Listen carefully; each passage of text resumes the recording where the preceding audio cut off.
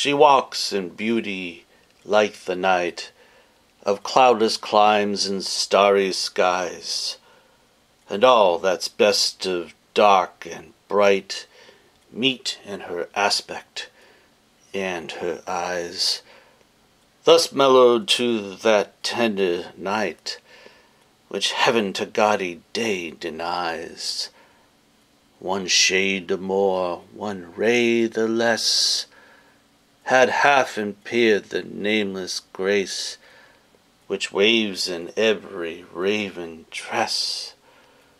Or softly lightens o'er her face,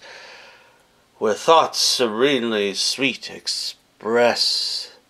How pure, how dear their dwelling place. And on that cheek and o'er that brow, So soft, so calm, yet eloquent, The smiles that win, the tints that glow, But tell of days and goodness spent, A mind at peace with all below, A heart whose love is innocent.